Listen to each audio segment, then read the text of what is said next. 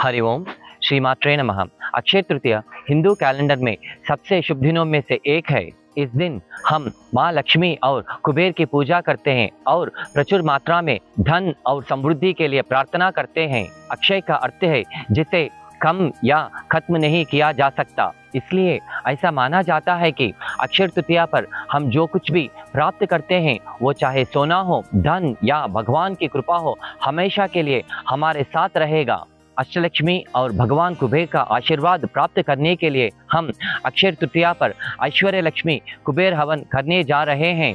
इस हवन को करने से आपके जीवन में आर्थिक कठिनाइयों का समाधान होगा, साथ ही धन और आय में बढ़ोतरी होगी।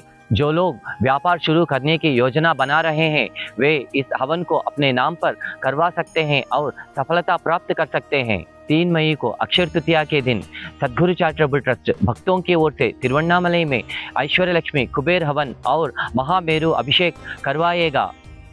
इसके साथ ही हम गो पूजा भी करेंगे और अन्नदान के माध्यम से हज़ारों साधुओं को भोजन कराएँगे। भक्तजन देवसेवा डॉट कॉम के माध्यम से इन सेवाओं को बुक कर सकते हैं और अक्षर तृतीया पर देवी महालक्ष्मी और भगवान कुबेर का अपार आशीर्वाद प्राप्त कर सकते हैं। ओम नमः शिवाय।